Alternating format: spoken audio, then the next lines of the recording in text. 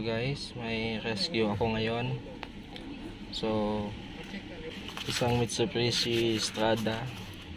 Pag park nila, okay pa. Then pagbalik is, pagbalik is hindi na ma-start ang engine. So, chinek ko kung may crudo ba. Meron naman i-check ko ang timing belt okay naman so saksakan ko ng scanner. So wala namang fault code. So try lang natin mag replace ng susi. So ito yung susi nya bagong pagawa. Try lang natin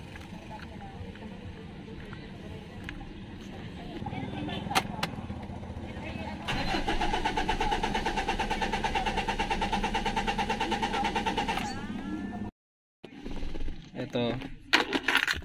Uh, test natin yung bagong susi so start natin.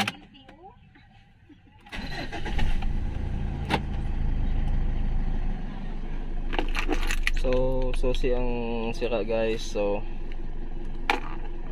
update ko na lang kayo mamaya.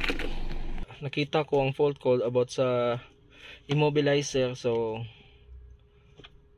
uh, nag-request lang ako ng bagong susi yung dati niyang susi tapos trinay namin na paanda rin so umandar naman siya. So paano ako mag trouble ng cranking but no start? So ang una-una kong ginagawa is scan muna. So kung wala akong makita ah uh, mag visual check up ako. Visual check up. Kung may fuel ba. Kung putol ba ang timing belt.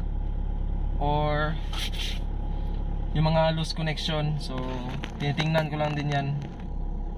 So in this case sa Strada ang problema niya is susi lang. So sa immobilizer siya. Yung susi niya pinagawa niya pero gumagana So, uh, one year niya ginagamit. So, okay naman daw. So, nagduda ako.